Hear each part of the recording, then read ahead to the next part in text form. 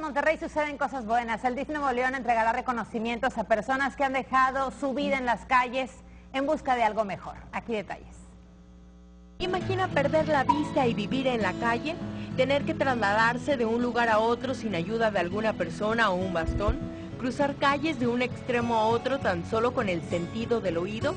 Ese era el diario vivir de Héctor Reina Martínez, un hombre de 58 años de edad quien perdió la vista y vivía en las calles. Sí, de primero sí me caí, me caía de primero porque no podía distinguir bien este, cuando me iba por arriba de la banqueta por el miedo de que me podría atropellar un carro por arriba de las banquetas. Y ahora que las banquetas, hay unos que tienen las banquetas parejas, sacar tu propiedad y luego siguen los escalones y luego así, bueno, cosas así. Sí, pero después este, dije, no, pues ¿por qué en lugar de la banqueta, bájate para abajo, nomás vete por la orilla de los carros donde están parqueados, fue lo que hice. Y con, el, ruido del motor de los carros, de los camiones, me daba cuenta que venían y se miraba la sombra nomás cuando, cuando pasaban. El pasado mes de enero, la Cruz Verde lo llevó al albergue El Refugio. Ahí encontró comida, un techo y ayuda a su problema visual. A través de la institución de sellos de luz, Héctor recibió una operación en su ojo izquierdo y próximamente será sometido a otra en su ojo derecho. Con ello, atacó de raíz su problema de cataratas bilaterales.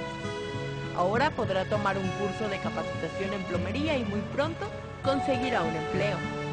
Estos testimonios de superación se han logrado a través del DIF de Nuevo León y son miembros de esta dependencia quienes nos comparten lo más satisfactorio de realizar su trabajo. La gratificación más grande es poder ver convertida a una persona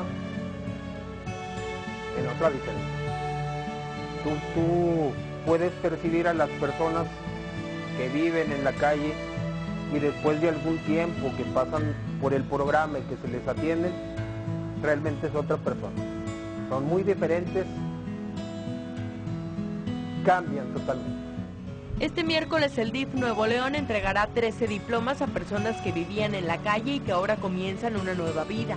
Son integrantes del programa de atención a la población indígena. Montacarguistas, plomeros, electricistas y trabajadores de la construcción estarán listos para aprovechar al máximo esta oportunidad de integración con la comunidad.